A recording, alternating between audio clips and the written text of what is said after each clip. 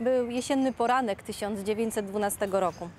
Sławna aktorka Jadwiga Mrozowska szybkim krokiem zbliżała się do teatru imienia Juliusza Słowackiego na pierwszą czytaną próbę Mizantropa Moliera.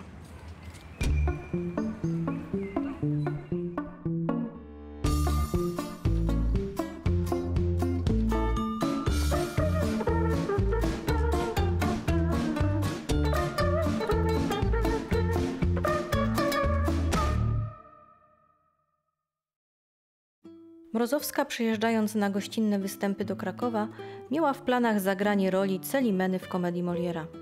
Na tę okazję przywiozła ze sobą kostium zakupiony w słynnej mediolańskiej firmie Art House Caramba, szyjącej stroje dla najważniejszych teatrów świata. Kostium ten z amarantowym gorsetem nie mógł jednak być pokazany publiczności, gdyż dyrekcja zrezygnowała z wystawienia mizantropa. W Muzeum Historycznym Miasta Krakowa zachowały się elementy tego oryginalnego kostiumu. Ze wspomnień Mrozowskiej wiemy, że wściekła z odwołania spektaklu zamknęła się w swoim hotelowym pokoju.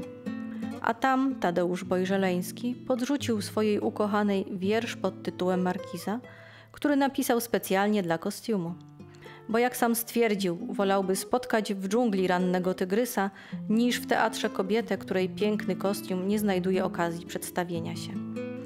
I nasza polska femme fatale przedstawiła go podczas wieczoru w Starym Teatrze, gdzie wyszła ze złoconej ramy jak gdyby z portretu i recytowała ten utwór, poruszając się menuetowym krokiem przy dźwiękach muzyki Mozarta.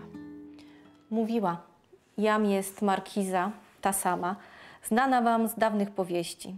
Ideału, kochanka, dama, co razem gardzi i pieści.